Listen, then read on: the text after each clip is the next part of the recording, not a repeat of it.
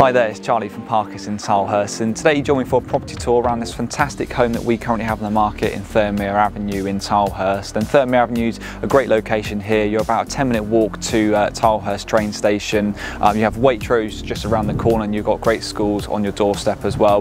The property itself, um, it's a three bedroom home so uh, why don't you follow me and I'll show you around now.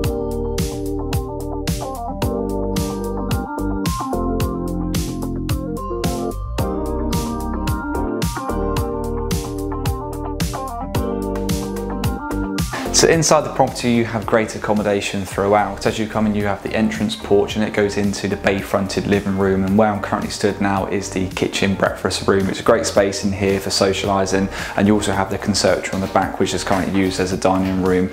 Upstairs to the property you have three well proportioned bedrooms and a family bathroom so why don't you take a look around and meet outside.